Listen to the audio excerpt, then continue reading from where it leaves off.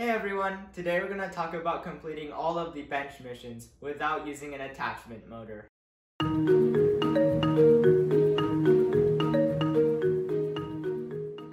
Alrighty, I completed these missions with passive mechanisms, which are mechanisms that work without motors. So how are they powered? Two ways, triggers and robot movement. Here's what I mean. Let's look at the bench mission. There are three ways to score points on the bench mission. 15 points are scored when the backrest is removed, 10 points are scored when the bench is knocked down, and 10 points are scored for each of the cubes dropped into these rectangles. Let's go over passive mechanisms powered by robot movement first. On the front of this attachment, there are these angle beams which will be used to push the backrest out. Watch this.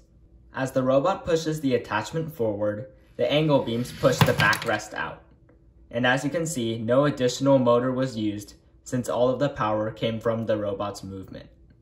Now let's look at passive mechanisms powered by triggers. This is the mechanism I use to push down the bench. It's basically a rubber band slider. The rubber band pulls the slider from the left to the right, which pushes the bench. However, we only want this to happen after the robot has lined up with the bench, not when the robot is at base. And so we need a trigger. When it is set off, the trigger powers the passive mechanism. In our case, our trigger needs to block the mechanism from working until it is pushed.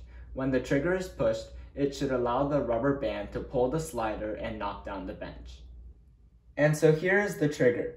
As you can see, when it is pushed, the slider is allowed to move. This is because our trigger is connected to a blocker, which blocks the slider from moving until the trigger has been pushed. Watch carefully, right here. When the trigger is pushed by the bottom of the bench mission, the blocker moves back and out of the way of the slider, allowing the slider to move and complete the mission. This is what the mechanism looks like after it has been taken out of the attachment. Here's the slider, here's the trigger, and here's the blocker. As you can see right now, the trigger has not been pushed, so the blocker is preventing the slider from moving any further. When the trigger is pushed, the blocker moves back to allow the slider to move. On the actual attachment, as the robot pushes the mechanism forward, the base of the bench mission pushes the trigger back, causing the slider to move and completing the mission.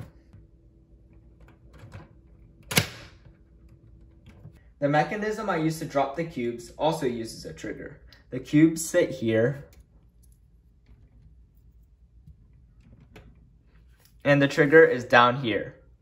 Since the trigger is attached at a 90 degree angle to the cube holders, when the trigger is pushed back by the base of the bench, the holders tip forward to release the cubes. This little flexible wall prevents the cubes from falling too far and missing their targets. This is what the cube dropping mechanism looks like after it has been taken out of the attachment. As you can see, the trigger is attached to the cube holder at a 90 degree angle so that when the trigger moves back, the cube holder tips forward.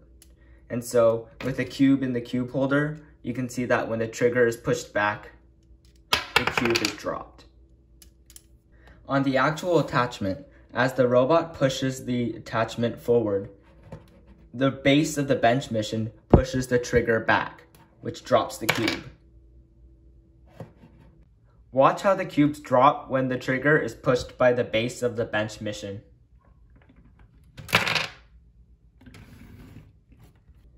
We've got one last mechanism to cover. There's one more cube to drop. The cube sits in here.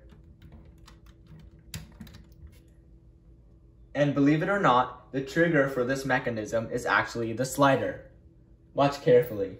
The slider holds the cube container up until the slider moves which is when the cube container falls down and the cube is dropped.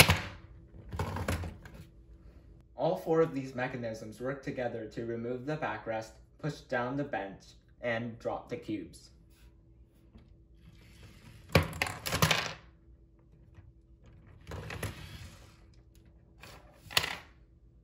You might be wondering, why should I use these passive attachments? In this case, I use them because since the mechanisms are not connected to motors, I can leave the attachment on the field. However, the main benefit is that you are able to do more missions, since you can save your motors for other mechanisms and other missions. And since I'm able to leave my attachment at the bench, I can also score points from the Innovation Project mission and two of the health units. Since the best way to learn about mechanisms is to actually build them, I have linked instructions to build the cube dropping mechanism and the rubber band sliding mechanism in the video description. Keep in mind that these are not complete instructions of my attachment, just the mechanisms that I used. I hope this video helped your team out. If you enjoyed it, please hit like and subscribe for more tutorials coming out in the future about completing FLL replay missions.